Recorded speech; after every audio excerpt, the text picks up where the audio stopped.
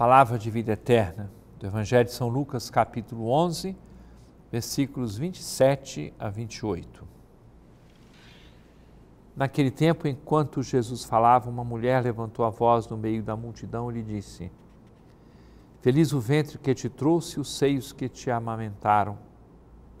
Jesus respondeu: Muito mais felizes são aqueles que ouvem a palavra de Deus e a põem em prática. Pois é, até hoje nós elogiamos o ventre que trouxe Jesus e os seios que amamentaram o Senhor. Tem um nome essa pessoa, Maria.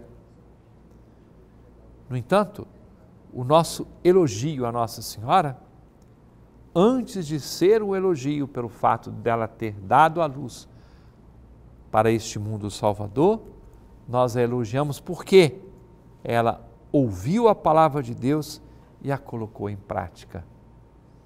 Fez o ato mais digno da vida de uma pessoa. Eis aqui a escrava do Senhor, faça-se em mim segundo a tua palavra.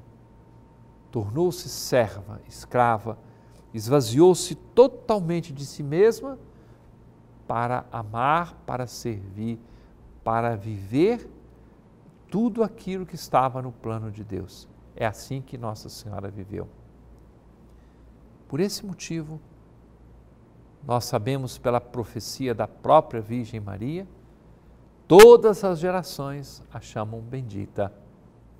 Hoje nós a chamamos bendita com o título Nossa Senhora do Rosário de Fátima.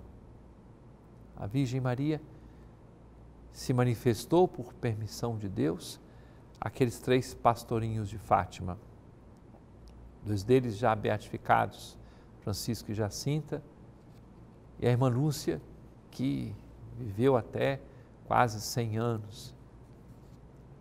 São pessoas da nossa época, do nosso tempo, que experimentaram esse amor misericordioso de Deus através da palavra de Nossa Senhora que convidou a fazer duas coisas: a oração e a penitência. Fátima é um verdadeiro fenômeno. Quem já foi a Fátima em Portugal deve ter experimentado aquilo que a gente vive quando entra naquela imensa praça. Tive a alegria de estar ali várias vezes, uma delas quando João Paulo II beatificou os dois pastorinhos e mandou que fosse feita a leitura da terceira parte do segredo de Fátima.